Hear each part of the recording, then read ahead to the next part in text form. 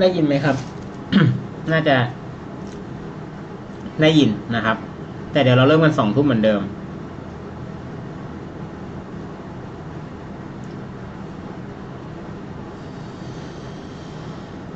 นะครับ เดี๋ยวเราเริ่มกันสองทุ่ม เสียงเป็นยังไงบ้าง เสียงชัดไหมเอ่ย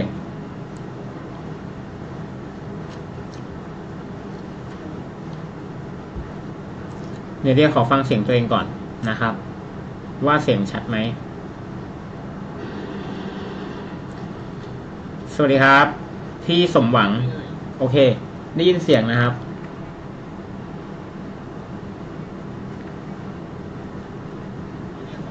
โอเคนะครับ ก็เสียงชัด เดียเห็นแล้ว วันนี้ก็กลับมาไลฟ์ทาง Facebook เหมือนเดิมนะครับ โอเค เดี๋ยวเดียขอแชร์ขออะไรอย่างนี้ก่อนนะ ใครที่เข้ามาแล้วกดไลค์กดแชร์ด้วยนะครับ ได้ยินเสียงพัดลมไหมเอ่ย วันนี้เปิดพัดลมอากาศ อากาศไม่ได้หนาวมากไม่ได้ไม่ได้ร้อน เอ้ยมันเขาเรียกว่าอะไม่ได้ร้อน เอออากาศไม่ได้ร้อนมากนะครับ ก็เลย เปิดเป็นพัดลม ไม่รู้ว่า เนี่ยเจ้าจะเห็นแบบกระพือกระพืออยู่ ไม่รู้ว่าได้ยินหรือเปล่า ได้ยินเสียงพัดลมไหมเอ่ยนะครับ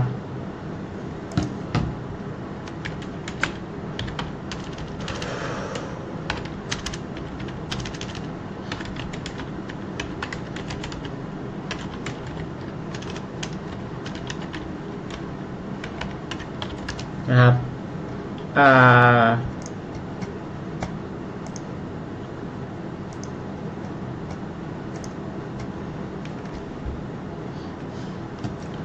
เป็นยังไงบ้างครับ ชัดไหม พี่สมหวังยังยังอยู่ไหมครับ ถ้าอยู่ยังไงรบกวนแจ้งเดนนิดนึงว่า พอดีพี่เพิ่งเข้ามาคนแรกนะครับ ก็ก็อยากให้รบกวนแนะนำหน่อยว่า ชัดไหมหรือว่าได้ยินเสียงพัดลมไหมนะครับ จะได้ปรับกันจะได้กลับไปเปิดแอร์นะครับ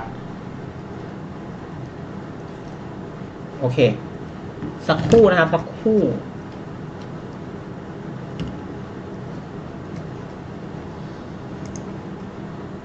สวัสดีครับ เข้ามากันใครเข้ามาแล้วทักทายกันนิดนึงนะครับ ว่ามีใครอะไรเข้ามากันแล้วบ้าง เดี๋ยวเราจะได้ไปกันเลยสองทุ่มนะ เดี๋ยวเราจะเริ่มกันสองทุ่ม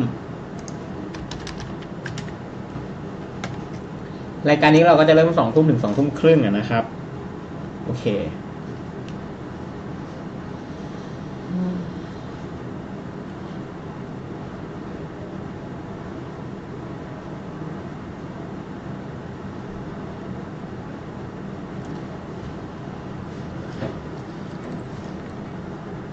คนที่เข้ามาแล้ว บอกหน่อยครับว่าชัดไหม ชัดไม่ชัดยังไงแจ้งมาได้นะครับ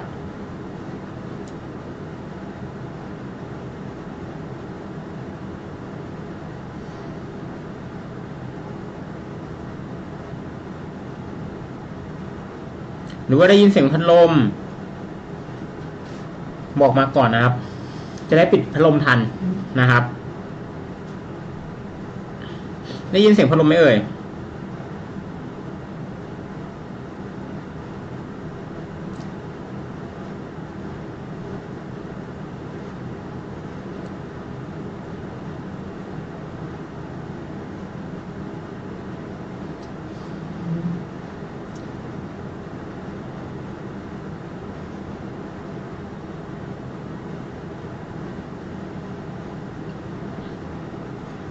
ได้ยินเสียงเดียไหมครับ มีคนได้ยินเสียงเดียไหมเอ่ย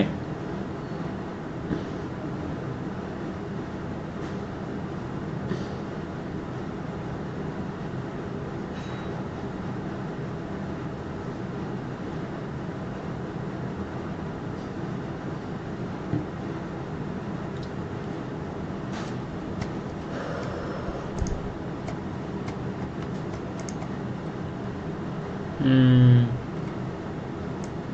มี ใครได้ยินไหมครับ ตอนนี้มีอยู่กันสี่คนนะหกคนแล้ว ได้ยินไหมเอ่ย ได้ยินไหมครับ ชัดเจนยังไงหรืออะไรยังไงบอกนิดนึง เดี๋ยวจะได้ไปต่อกันนะครับ ยังไงช่วยกันทำมาหากินนิดนึงเนาะนิดนึงนิดนึง เดี๋ยวเดียจะเปิดคลิป สัปดาห์ที่แล้วไม่ใช่สัปดาห์ที่แล้ว เรียกว่าอะไรนะ ที่เดียได้ไปทำรายการของรวยก่อนเกษียณมานะครับ ใครที่ยังไม่ได้ดูรายการรวยก่อนเกษียณก็ติดตามชมได้ได้นะครับทาง Facebook i d e a Trade เช่นเดิมนะครับ ดูได้เลยนะ รายการนี้เป็นรายการที่เราจะเชิญ ไม่ว่าจะเป็นนักลงทุนรุ่นเก่า รุ่นใหม่ หรือคนที่ ลงทุนอยู่แล้ว หรือคนที่ยังไม่เคยลงทุน เราจะเชิญมาว่า มาดูว่าแนวคิดหรือว่า การบริหารการเงินของเขาเนี่ยเป็นยังไง แล้วก็ทำไมถึงคนที่คนที่ยังไม่ลงทุนทำไมถึงไม่ลงทุน คนที่ลงทุนแล้วทำไมจึงถึงลงทุนต่อประมาณนี้ดีไหมอ่าเดี๋ยวให้เห็นหน้าชัดๆนะครับ โอเค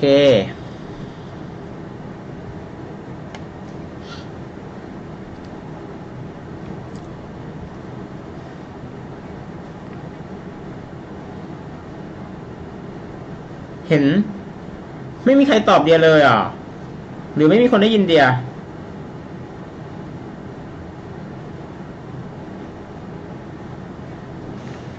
มีคนเข้ามาสิบคนแล้ว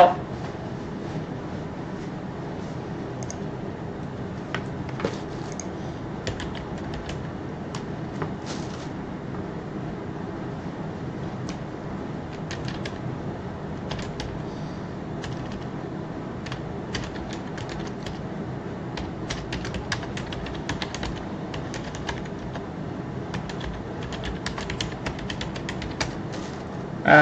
อ มี คนอยู่ไหมสิบคนนะครับสิบคน ได้ยินไหมเอ่ยได้ยินไหมได้ยินไหมครับ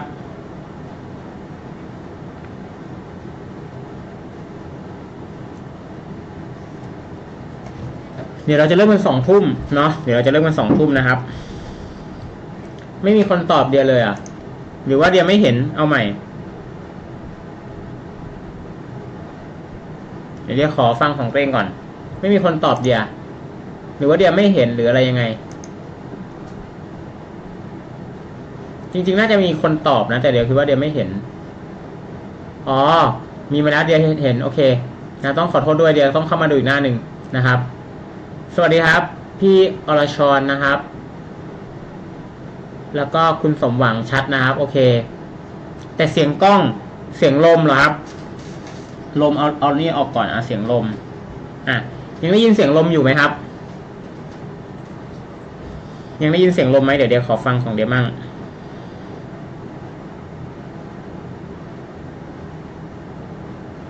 แป๊บหนึ่ง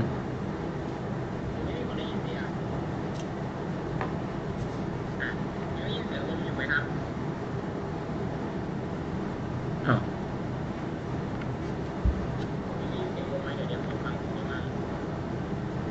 ไม่มีแล้วเนาะไม่มีเสียงลมแล้ว นะครับ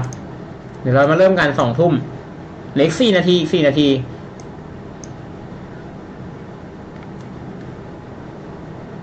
ไม่ไม่ได้ยินแล้วเนาะมีใครยังได้ยินเสียงลมอยู่ไหมครับ อ่า เดี๋ยว เดี๋ยวเปิดคลิปเรื่องของ รวยก่อนเกษียณให้ดูก่อนว่า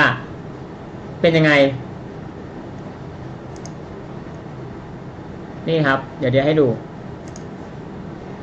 คลิปนี้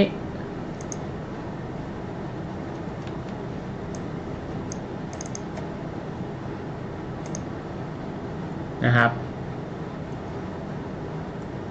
ก็เป็นการสัมภาษณ์กับน้องเอิญนะเป็นชื่อน้องเอิญน้องเอิญเขาก็ทำงานอยู่หลายส่วนเหมือนกัน นะครับ อันนี้คือคลิปสัมภาษณ์น้องเอิญนะครับ ก็เดี๋ยวเราจะมีออกกันทุกสัปดาห์ทุกเสาร์อยู่แล้วนะ ว่าขึ้นอยู่ว่าจะเชิญใครมา หรือ หรือเราจะออกไปแนวไหนนะครับ อันนี้ก็ามาดูเป็นส่วนตัวว่า เอามาดูก่อนว่าเป็นยังไงเป็นแบบแนวเพื่อนๆกันชิวๆกันอะนะแต่น้องเอิญเขาเด็กกว่าเดียอายุยี่หกเองนะครับยี่หกเองเนาะโอเค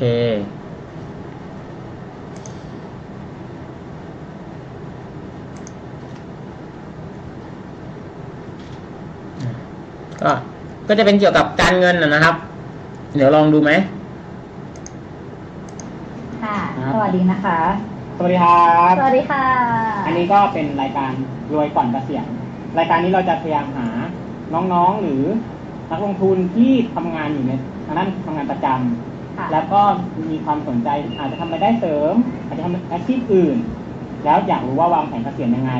จะได้เป็นไปมันด้วยช่วยฟิลอะไรอย่างเงี้ยก็น่าจะได้ด้วยมันจะเสียงเข้าดีมากเลยนะเนี่ยก็เสียงเข้าปิดจริง ๆ ไม่อยู่ตรงรัดด้วยไม่อยู่ตรงเนี้ยจะได้แบบไม่ไม่อยู่ตรงผมน้องพอดีเลยน้องด้วยอะไรเงี้ย ก็เลยเป็นชื่อช่วงของเราว่าเจียบไม่ฟิลสอนเจียบมาจากเจียบพี่สาวอะไรนะเจียบเจียบไม่ได้เจียบแบบกินข้าวไม่ใช่แบบนั้นโอเคเจียบมาจากเจียเจียที่แปลว่าพี่สาวอ่านะส่วนเม่เมย์แปลว่าน้องสาวเจียบเม่ก็แบบพี่กับน้องอะไรเงี้ยอืมฟิลสอบมาฟิลสอบกันครับอ่าโอ้ค่ะอันนี้ก็คือ ทำทุกเสาร์ทำทุกเสาร์อ่า โอเคเดี๋ยวจะต้องคอยติดตามชม นะครับ ค่ะแล้วก็มีแอมเวย์ใช่แล้วแอมเวย์นี้ก็ถือว่าเป็นรายได้เสริมหลักเลยไหมเดี๋ยวสองทุ่มเราจะเริ่มนะสองทุ่มสองทุ่มเราจะเริ่มกันแล้ว เขาได้มีอย่างนี้คือรายได้หลัก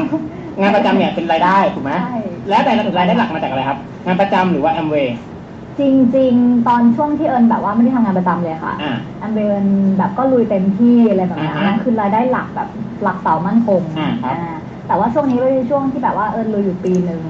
ปีหนึ่งแล้วก็เพิ่งเริ่มก็ก็พักไปยาวเหมือนกันค่ะ ครับแต่ว่ามันก็จะมีแบบคนที่ซื้อกินซื้อใช้ครับซ้ำอะไรเงี้ยค่ะ ก็เรียกว่าเป็นยอดที่แบบค่อนข้างมั่นคงอะไรเงี้ย อือฮึตอนนี้ก็เลยยังมีจุดส่วนนั้นอยู่ อ๋อใช่ โอเคงั้นก็แปลว่าตอันนี้เอามาออกอากาศให้ดูคร่าวๆก่อนขั้นเวลานะ เดี๋ยวเราสองทุ่มเราจะเริ่มกันนะครับสองทุ่มเราจะเริ่มกันาเป็นครั้งคราวอ๋อแล้วแต่แล้วแต่ช่วงเขาก็จะแบบส่วนมากตอนนี้ MC ที่รับอยู่ก็คือ MC ภาษาจีนเอ็มซีภาษาจีน ใช่ค่ะไปทำอะไรนะไป พูดหรือไปแปลหรืออะไรอย่างนี้หรือเปล่า ไม่แปลเพราะเราแปลไม่เก่ง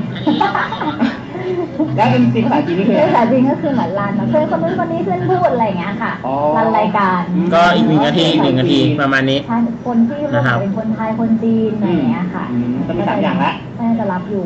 ตอนแต่ไม่แต่ก็ไม่ได้บ่อย ไม่ได้ทุกสัปก็ดาห์ไม่เดือนไม่ได้รู้สัปดาห์เดือนเป็นเป็นจ็อบจ็อบไปค่ะโอเคค่ะแล้วก็แบบงานละครอะไรเงี้ยอ่าก็มีละครอันเนี้ยเดี๋ยวเราก็จะมาโอเคโอเควางแผนกันตอนสุดท้ายเรื่องของวางแผนอะไรไว้เนาะเลยได้ค่ะไม่มีปัญหา เท่าไหร่พี่มีให้ใช้สองหรือใช้เท่านี้หรือบนหรือล่าง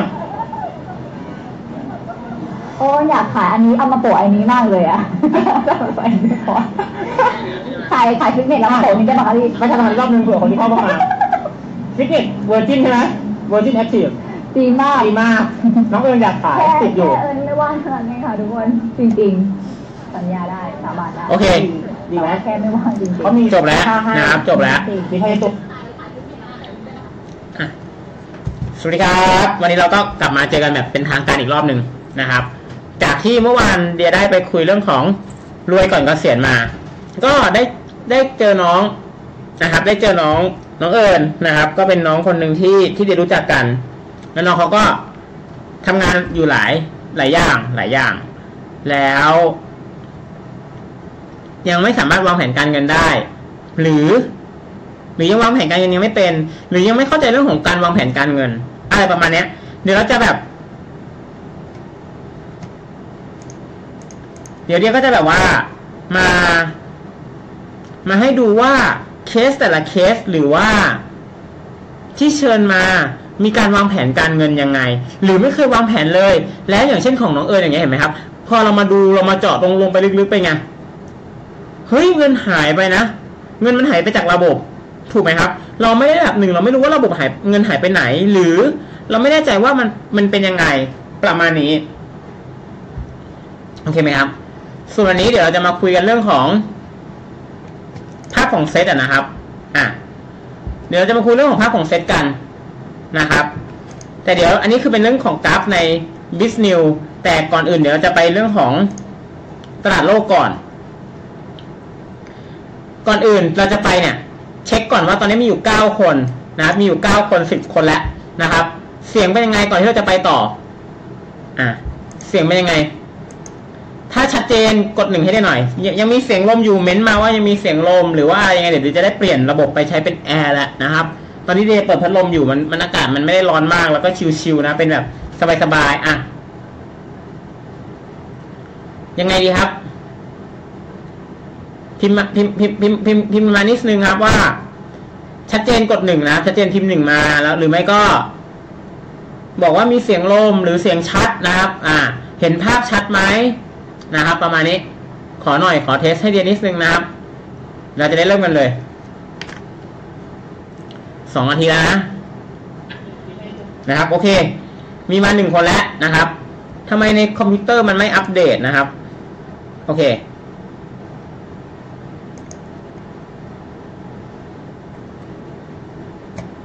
โอเคครับ เดี๋ยวไปกันต่อนะครับ โอเค เดี๋ยวมาดูกันต่อครับอะมาดูที่ดาวโจนส์กันก่อน ดาวโจนส์นะครับ ภาพในรายวีคเป็นยังไงเอ่ย ยังขึ้นต่อ ยังขึ้นต่อนะ ภาพในรายวีคยังขึ้นต่อ ดาวโจนส์ยังขึ้นต่อได้ มีการย่อลงมา ย่อได้ไม่เยอะนะครับ ภาพใน time frame day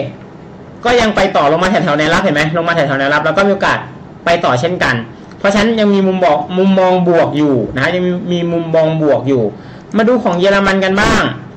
ในราย week เป็นยังไงครับก็ยังมีการ rebound ขึ้นมาแล้วเห็นไหมลงมาอยู่ที่ bottom ตรงนี้ ลงมาอยู่ที่แนวรับ แล้วก็มีการ rebound ขึ้นมา break trend line เส้นนี้มาแล้วนะครับ break trend line เส้นนี้มานะครับ เพราะฉะนั้นแล้ว มองว่าอาจจะไปต่อได้สำหรับตัวของเยอรมัน มาดูในรายเดย์กัน ติดต้าน ติดต้านอยู่นิดนึงนะครับตรงนี้ อ่า ประมาณหนึ่งหมื่นสองพันหกร้อย หนึ่งหมื่นสองพันหกร้อยยังยังถือว่าไปต่อได้แหละแต่มันนิดเดียวเองนิดเดียว แล้วในวีคเป็นยังไงเอ่ยในวีคยังมีแนวต้านอยู่ตรงนี้เลยนะครับหนึ่งหมื่นสองพันแปดร้อยอันนี้เท่าไหร่หกร้อยเพราะฉะนั้นแต่ว่ามีแนวต้านอยู่อีกนิดนึงนะครับ ตอนนี้ก็อีกประมาณสักเกือบเกือบร้อยจุดนะครับเกือบเกือบร้อยจุดในเรื่องของตัวเยอรมัน มาดูของอินเดียกันบ้างใครที่ยังมีกองทุนอินเดียอยู่ต้องติดตามแล้วกองทุนอินเดียยังเป็นไงยังไปต่อได้ ยังไปต่อได้นะครับ เป็นไงครับ ตรงนี้ถือว่าเป็นแนวต้านมีโอกาสทะลุไหมมีโอกาสทะลุโมเมนตัมเป็นไงโมเมนตัมชัดเหมือนกัน มาดูทำเฟรมเดย์มันชนต้านตรงนี้นิดนึง เดี๋ยวมันต้องย่อ ย่อมาถึงไหน เดียวว่าไม่ต่ำกว่า ไม่ต่ำกว่าเนี้ยไม่น่าไม่น่าต่ำกว่านะ ไม่น่าต่ำกว่า 997 หรือเอาสักเลเซที่ประมาณ 9950 แล้วกันนะครับ 9,950 ไม่น่าต่ำกว่านี้ เป็นไปไม่ได้แล้วที่จะต่ำกว่านี้ถ้าเกิดต่ำกว่านี้ต้องแบบโอ้โหลงมาถึงนี่เลย 9,700 นะครับ 9,700 ต่อไปมาดูของญี่ปุ่นกันบ้าง ญี่ปุ่น ในราย week เป็นไงญี่ปุ่นก็ยังขึ้นมาต่อได้นะครับ ขึ้นต่อได้โมเมนตัมมาโมเมนตัมมา ใน time frame day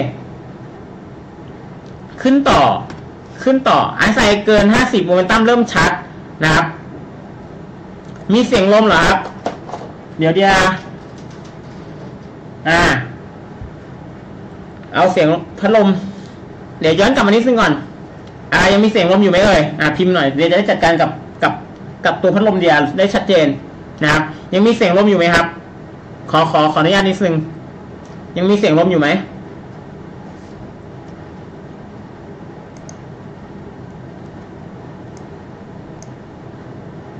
ยังมีไหมครับเสียงลม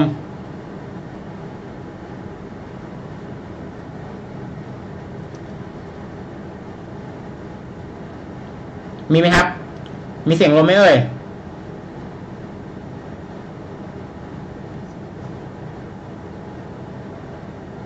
มีเสียงลมไหม เป็นพัดลมอะเดี๋ยวเปิดพัดลมเดี๋ยวเดี๋ยวไปเปิดแอร์ละ ถ้าเกิดยังมีพัดลมอยู่ หมายถึงถ้าเกิดจะมีเสียงลมอยู่นะ ยังมีเสียงลมไหมครับ ขอขอตอบเดี๋ยวนิดนึงจะเราจะได้ไปต่อกัน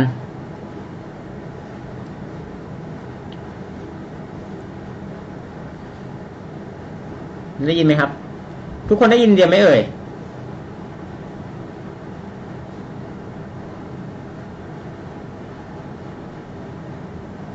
อืม เอ่อ เหมือนไม่มีคนได้ยินเดียหรอ ไม่มีคนตอบเดียเลยอะ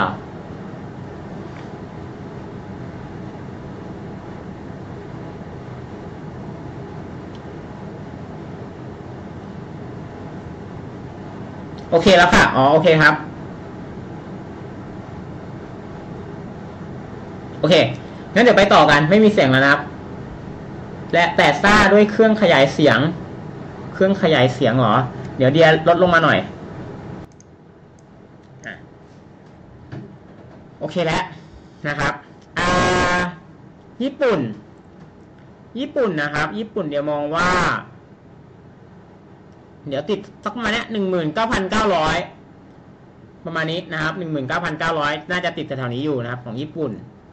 เอ่อ มาดูฝั่งของฮ่องกงกันบ้าง ฮ่องกง ฮ่องกงเริ่ม เริ่มแบบ ดูว่ามันน่าจะย่อลงมาก่อนเห็นไหมไอไซเริ่มไม่ชัด ราคาก็เริ่มไซเวย์ออกข้าง เพราะฉะนั้นแปลว่าอาจจะยังไม่มีทิศทางชัดเจนนะครับ อาจจะยังไม่มีทิศทางชัดเจนสักเท่าไหร่ นะครับไม่มีทิศทางชัดเจน เพราะฉะนั้นช่วงนี้อาจจะเราอาจจะสวิตห่างเสงออกไปก่อนถ้าเกิดใครยังมีถือสวิตอยู่เอ่อถือไม่ใช่อาจจะสวิตฮ่องกงไปห่างเสงเราจะสวิตออกจากห่างเสงไปเข้าเป็นดาวโจนก็ได้ อินเดียก็ได้เด็กก็ได้นะครับ โอเคไหมเอ่ยอะมาดูเดยกันเดก็ไม่สวยเท่าไหร่เลยห่างเสงเดไม่สวยถูกไหมอาจจะมีการย่อ แต่ดูลักษณะแบบนี้แล้วเป็นไงครับ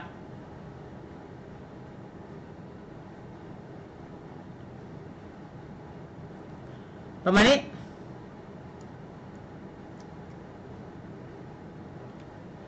นะครับ เพราะฉะนั้นแล้วยังไม่ชัดเท่าไหร่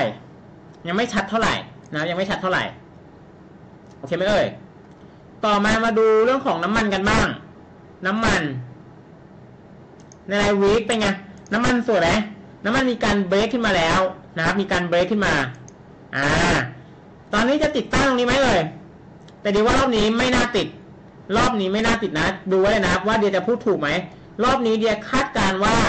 น้ำมันไม่น่า ไม่น่านะเดี๋ยวใช้คำว่าไม่น่านะ ไม่น่าหลุดแล้วนะ ไม่น่าหลุดตรงนี้53.3เนี่ยหรือว่าเดี๋ยวว่าไม่น่าหลุด เดี๋ยวว่ามีการเบรกมีการมองขึ้นว่าจะจะเบรกด้วยซ้ำเดี๋ยวคาดการณ์ว่าน้ำมันน่าจะมีโอกาสขึ้นไปถึงเท่านี้ด้วยนะครับ57จุดกว่าเนี่ยนะครับ57.17 57ประมาณนี้น่าจะเบรกขึ้นไปได้ นะครับ ประมาณนี้ใน time frame day ใน time frame day เป็นไงน้ำมันมีการเบรกขึ้นมาแค่นี้ปุ๊บไปอะไปต่อมีการย่อมาสักพักตัวแล้วก็ไปต่อ เพราะฉะนั้นมีการย่อไปต่อแล้วดูนะสังเกตไหมครับ low ตรงแท่งเนี้ยย่อมาไม่ต่ำกว่านี้ เพราะฉะนั้นถามว่าตอนนี้น้ำมันยังถือว่าเป็นขาขึ้นแบบสตรองอยู่ยังไม่ถือว่ายังเป็นขาขึ้นที่แข็งแรงอยู่นะครับ ยังถือว่าเป็นขาขึ้นที่แข็งแรงอยู่เพราะฉะนั้นมีโอกาสที่จะทำให้บ้านเราไปต่อได้ น้ำมันนะ หมายถึงว่าน้ำมันด้วยแล้วก็บ้านเราด้วย เพราะเซ็ตอ้างอิงจากอะไรมีเวทอยู่ที่น้ำมันเป็นเป็นแนวหลักเลยถูกไหมครับ ประมาณนี้เลยอะจบแล้วของตลาดโลก เดี๋ยวมาดูทองกันมาดูทอง RTXGL ทองตอนนี้เป็นไงครับ ย่อ อย่างที่เดียบอก ใครจำได้ไหมเอ่ยว่าเดียบอกว่า ทองต้องมาแถวๆประมาณเท่าไหร่เอ่ยหนึ่งพันสามร้อยห้าสิบ ประมาณนี้ แล้วเดี๋ยวมันต้องย่อ ถ้าย่อรอบนี้ไม่ต่ำกว่านะ ดูการย่อของมันก่อน ไม่ควรต่ำกว่า 1,260 ในวีคนะ ใน week นะครับ แต่ใน day ก็เนี่ยเดียมองว่าไม่ควรต่ำกว่าตรงนี้เอาพันสามสิบละกัน แต่ถ้าเกิดย่อได้จริงๆอะย่อมาได้ถึงตรงนี้เลยนะ1,260ย่อมาได้ถึงจุดนี้เลยนะสำหรับตัวของทองคำนะครับ อะ มาดูใน time frame day กันใน time frame day เป็นไงนี่ก็บอกแล้วว่าโอเคไหมแถวๆเนี้ยน่าจะเป็นแนวต้านของทองคำแหละถูกไหมครับ อ่าตรงนี้คือต้านแล้วนะครับ ทีนี้ มันจะย่อลงมาได้ถึงตรงนี้นะครับหนึ่งพันสองร้อยหกสิบแต่เรามาดูตรงนี้ก่อนว่าหนึ่งพันสามร้อยนะครับหนึ่งพันสามร้อยอ่าหนึ่งพันสามร้อยนะ โอเคไหมครับ แต่ดูตรงนี้ก่อนว่ามันจะหลุดตรงนี้ไหมนะมันจะหลุดไหมตรงเนี้ย อืม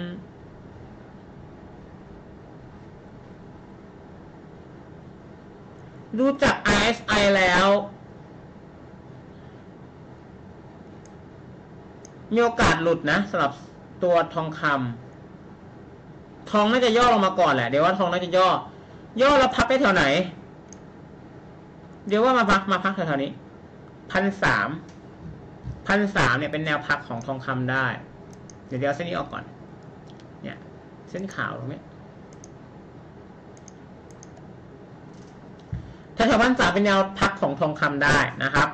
เอ่อมาดูทองคำแล้วมาดูเซ็ตกันบ้าง มาดู SET SET ในราย week ก่อน เซ็ตในราย week เอ่อตอนสูงสุดเท่าไหร่ครับ สูงสุดคือ รงนี้เลยนะไฮของมันอยู่ที่หนึ่งพันหกร้อยห้าสิบสี่สิบเก้าจุดเจ็ดแต่ถ้าเกิดเราดูจริง ๆ แล้วอะ นี่นะฮะนะครับเขาลงข่าวกันว่า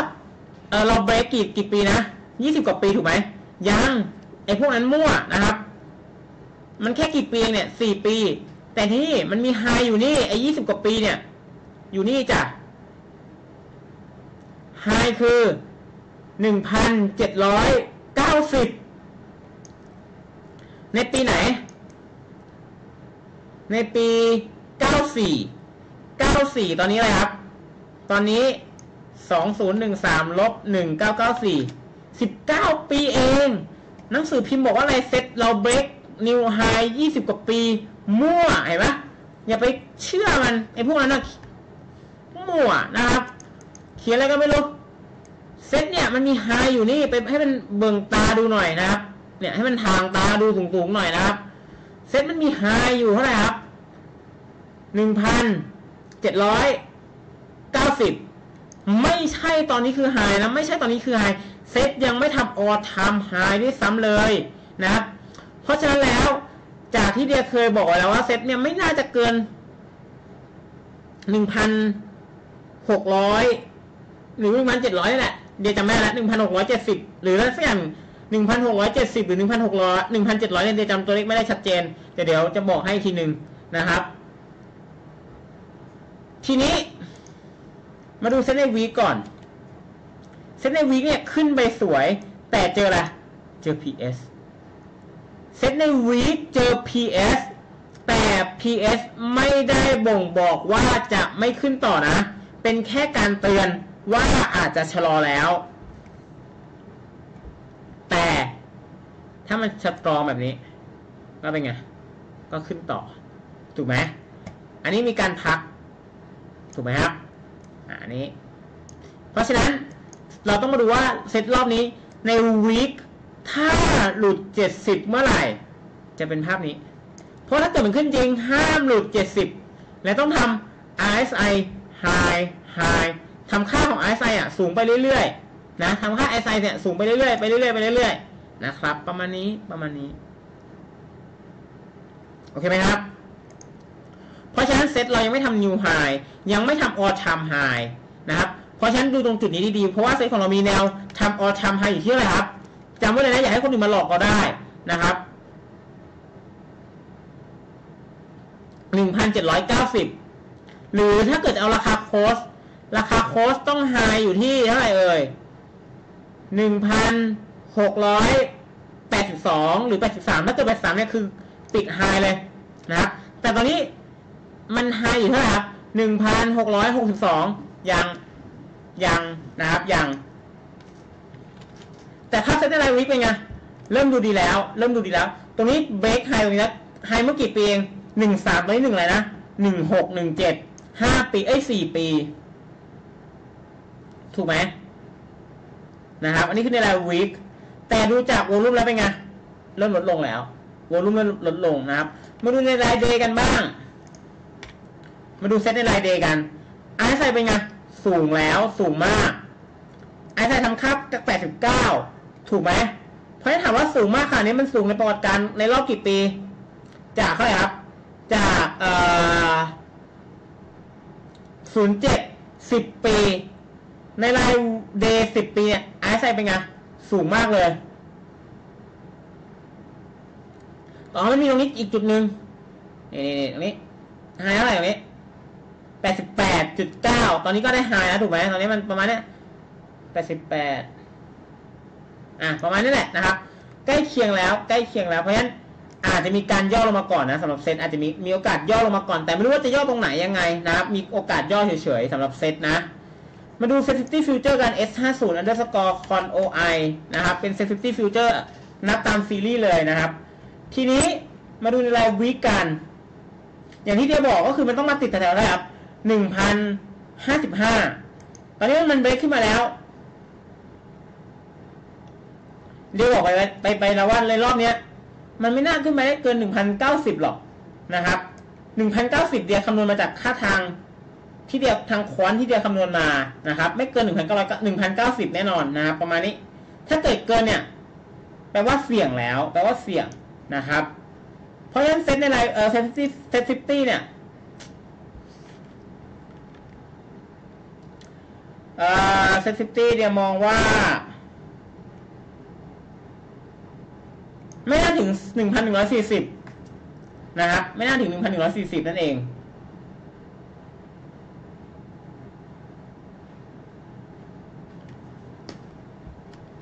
โอเคไหมเอ่ยนะครับ ประมาณนี้นะประมาณนี้เลย มาดูในเดกันในเดใน day เกิด doji จะย่อตัวไหมไอซ์ไซสูงแล้ว จะต่ำกว่าเจ็ดสิบไหม volume หายนะ แล้วเวลา volume หายไปไงเดี๋ยวมาดูประวัติการให้เวลา volume peak นี่ peak volume หายไปไง sideway เพราะฉะนั้นรอบนี้มีโอกาสไปไงนี่ volume peak แล้วก็ sideway นิดนึงก่อนpeak แล้วก็ sideway มีโอกาส sideway up ด้วยถูกไหมถ้าเกิด RSI ยังไม่สูง เพราะมีโอกาสที่มันลงจะมาลงมาปรับ RSI ก่อนนะ เพราะเซตเนี่ย SET50 future เนี่ย มีโอกาสที่จะลงมาปรับตัวเรื่องของ RSI ก่อนนะสำหรับ SET fifty future นะครับ ประมาณนี้เลยนะสำหรับตัวเรื่องของ Sensitivity Future เดี๋ยวเรามาดูเรื่องของค่าเงินกัน อะเอ้ยมาดูต่างประเทศกันก่อนนิดนึง ตัวเรื่องของจาการ์ตาเป็นไง ก็ยังดีอยู่ถูกไหมยังดีอยู่โอเค ยังไม่มีอะไรวิตกกังวล ฟิลิปปินส์ฟิลิปปินส์ดูดี ฟิลิปปินส์ดูดี ฟิลิปปินส์ทำ all time high ไปยัง high อยู่เท่าไหร่ high อยู่แปดหนึ่งสามหก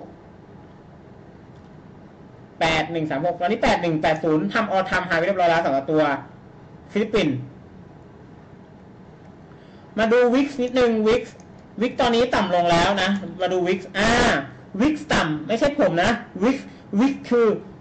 volatility index นะครับ volatility index ต่ำลงแล้ว เพราะฉะนั้นพอ VIX ต่ำลงไปไงแปลว่าตลาดจะเริ่มเป็นไงเกิดเทรนด์จะเริ่มเกิดเทรนด์แล้ว VIX ยังไม่ต่ำกว่าจุดนี้นะครับแต่ว่ายังอาจจะเกิดมีความผันผวนนิดนึง แต่เทรนด์ขาขึ้นน่าจะชัดเรื่องของความเสี่ยงต่างๆ อาจจะยังไม่มีความผันผวนต่างๆ อาจจะยังไม่ชัดมากอะไรเงี้ยวิกก็เลยลงไปไง ต่ำลงมา เวียดนาม มีกองทุนไทยเริ่มตั้งแล้วนะกองทุนไทยเริ่มเข้าไปตั้งในเวียดนามแล้วนะครับ ก็ทำออทำไฮไปเรื่อยๆนะเอ้ยยังไม่ทำออทำไฮผู้ผิดทำไฮไปเรื่อยๆฮานอยฮานอยก็ยังขึ้นต่อได้นะครับฮานอยก็ยังขึ้นต่อได้ก็ยังดูดี มีคนสนใจลงทุนเวียดนามไหมไหนลองพิมพ์มาหน่อยใครลงใครสนใจลงไปลงทุนเวียดนามบ้างเผื่อปีนี้จะจัดไปเวียดนามไปวิสิตคอมมิวนีวิสิตตลาดเวียดนาม มีใครสนใจไหมมาดูค่าเงินบาท ก่อนจะไปดูค่าเงินบาทเดียเคยสอนไปแล้วว่าให้ต้องดูตัวไหนครับไหนลองพิมพ์มาดูสิครับว่าใครตอบถูกบ้าง ก่อนที่จะดูค่าเงินบาท ต้องไปดูอะไรก่อนอะไม่รู้ว่าต่ออยู่เปล่าโอ้ถ้าเกิดท่านต่ออยู่ท่านต่อพิมพ์มาหน่อยนะท่านต่อครับ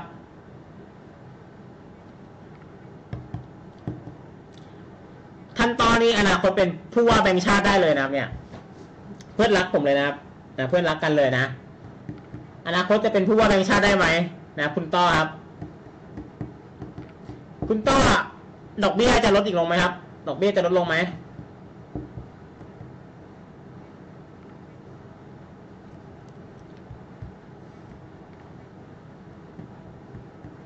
โอเค เดียเคยสอนไปแล้วว่า ยังพอมีเวลาเหลือ เดียเคยสอนไปว่าถ้าถ้าจะไปดูเรื่องของค่าเงินบาท ต้องดูอะไรต่อก่อน ต้องดูอะไรก่อน ใครตอบได้บ้าง ใครตอบได้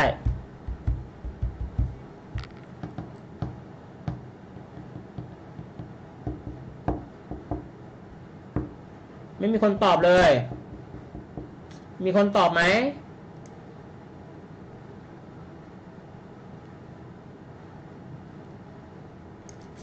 ใครจะตอบบ้างเร็วติ๊กตอกเร็ว ถ้าเกิดต้ออยู่ต้อพิมพ์มาก็ได้นะต้อนะ ก่อนที่เราจะไปดูค่าเงินบาทว่าอ่อนหรือแข็ง เราควรจะไปดูค่าอะไรครับ USD Index ถูกต้องครับ ก็คือตัว DXY นั่นเองนะครับ dollar index ดอกเบี้ย ยังนะต้องไปดู dollar index dollar index เป็นไง อ่า ใน week ถัดมาเริ่มเป็นไงครับ แข็งค่า เริ่มแข็งค่าเพราะเงินบาทบ้านเราเป็นไง ต้องเป็นไง ต้องอ่อนค่าลง อะยังนิ่งๆอยู่ ทีนี้ ไปดูเพื่อนบ้านบ้าง ไปดูค่าเงินบาทเทียบกับเพื่อนบ้านบ้าง ฮ่องกงเป็นไงทรงๆ ญี่ปุ่น อ่า ญี่ปุ่นเป็นไงค่าเงินบาทของเราเป็นไงแข่งข้ามมากขึ้น ถูกไหมถูกไหมครับ นะครับ ต่อมาลาวลาวลาวนี่ก็สองร้อยห้าสิบ นะครับ โอ้นะครับลาค่อนข้างเหวี่ยงมากเลยปื๊ดตอนนั้นโหไม่เห็นพวกนี้นะปื๊ดนะครับ แต่ก็ดีแล้วแหละหนึ่งบาทแลกได้แค่สองร้อยี่สิบกีบนะครับ ตอนนี้แลกได้สองร้อยห้าสิบกีบแล้วอ่าหนึ่งบาทเท่ากับสองร้อยห้าสิบกีบ เพราะฉะนั้นใครอยากเป็นเศรษฐีไปแลกเงินกีบซะจะได้ตัวเท่านี้เลยนะสองร้อยห้าสิบกีบนะครับหนึ่งบาทนะหนึ่งบาทเท่ากับสองร้อยห้าสิบกีบเออมาดูสิงคโปร์กัน สิงคโปร์เราเริ่มอ่อนค่าลงมาแล้ว ไต้หวัน ทรงๆ เพราะฉะนั้นแล้ว ยังไม่ชัดยังไม่ชัด ว่าค่าเงินบาทบ้านเราจะเป็นยังไงนะครับค่าเงินบาทบ้านเราจะเป็นยังไงนะแต่รู้สึกว่าตอนนี้ก็น่าจะอ่อนค่าเล็กน้อยนะ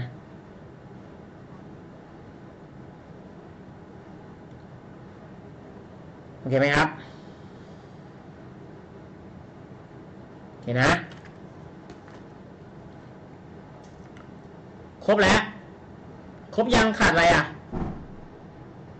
ขาดอะไรไหมเหมือนขาดอะไรไปเลย ไม่มีเนาะไม่มี ครบแล้วครบยังโอเค ก็ยังไงเดี๋ยวขอฝากประชาสัมพันธ์รายการรวยก่อนเกษียณด้วยแล้วกันนะครับ รายการรวยก่อนเกษียณเดียจัดทุกสัปดาห์ นะครับจัดทุกสัปดาห์นะวันเสาร์จะมีเชิญน้องมานะครับนะเดี๋ยวจะให้ดูอีกรอบหนึ่งนี่ครับ เชิญน้องมา เป็นสัปดาห์ที่ผ่านมาเชิญน้องมานะครับ ไม่ได้เชิญน้องมาชื่อมานะเชิญน้องเอิญมานะครับ อันนี้ก็คือเชิญน้องมาคุยกันแลกเปลี่ยนแนวคิดเรื่องของการลงทุนกับการทำงาน ไปถ่ายสถานที่จริงเลยไหม ไปถ่ายอันนี้อยู่แถวออนนุชนะอยู่แถวออนนุชโอเคนะครับ ก็เดี๋ยวสัปดาห์หน้าสัปดาห์หน้าวันเสาร์จะได้ติดต่อไปแล้วว่าจะเชิญลูกค้าท่านหนึ่งมา เป็นลูกค้าเลยนะครับ แล้วเราคอยมาติดตามกันว่าจะเป็นใครนะแล้วจะทำงานอยู่ในด้านไหน มีการวางแผนการเงินไหมอยากเกษียณเท่าไหร่ ประมาณนี้ประมาณนี้นะครับ ยังไงรายการนี้มีทุกเสาร์ช่วงก็ประมาณบ่ายโมง นะบ่ายโมงนะบ่ายโมงนั่นเอง โอเคนะครับ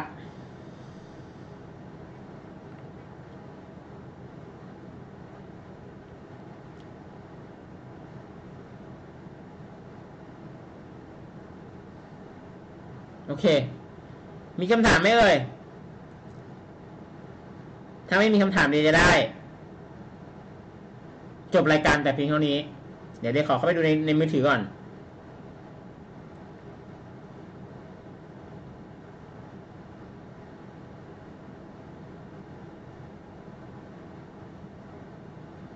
โอเคนะครับ ไม่มีคำถามเนาะงั้นเดี๋ยวไว้เจอกันใหม่ในสัปดาห์หน้า แล้วเดี๋ยว ถ้ามีคำถามยังไงเดี๋ยวเดียก็จะไปตอบให้นะครับ ถ้ามีคำถามเพิ่มเติมยังไงเดี๋ยวจะไปตอบให้ หรือถ้าใครสงสัย คำถามอะไรเพิ่มเติมยังไงก็ถามมาได้ทาง LINE add ด้านข้างเลยนะด้านข้างนิดนิดนึงนี่นี่มีด้านข้างนะครับ นี่นะด้านนี้นะครับ ก็ add ไอเดียเทรดได้เลยนะครับ ยินดีตอบให้ทุกคำถามอย่างแน่นอนนะครับ โอเค งั้นเดี๋ยววันนี้ขอจบแต่เพียงเท่านี้แล้วเดี๋ยวเราเจอกันใหม่ในสัปดาห์หน้าครับ แล้วเดี๋ยวเดี๋ยวไปจัดไปจัดรายการอีกสองรายการ ใครถามเกี่ยวกับหุ้นรายตัวมา เราจะไม่ตอบในนี้ เราจะไปตอบในรายการถามตอบนะครับ แล้วก็ ลูกศิษย์ที่เรียน 3G เดี๋ยวเราก็จะจัดอีกสองรายการต่อเนื่องกันนะครับ โอเค งั้นวันนี้ขอจบแต่เพียงเท่านี้แล้วเดี๋ยวเจอกันใหม่ในสัปดาห์หน้าครับ สวัสดีครับ บ๊ายบาย ครับ